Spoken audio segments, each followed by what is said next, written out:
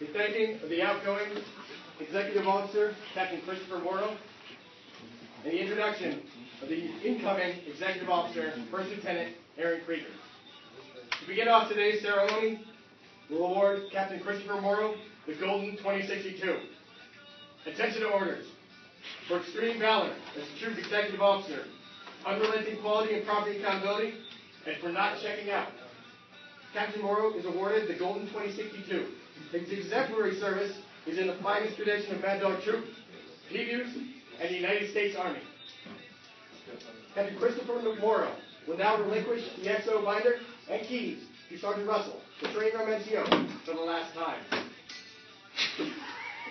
Sergeant Russell will now pass off the XO binder and the keys to the incoming XO, First Lieutenant Aaron Krieger.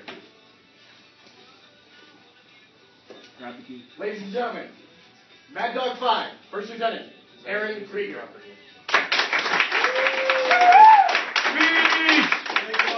would just like to say a few words on behalf of my mentor, Brave Rifles. Come on. Veterans. Hey, sir, do I get your spot?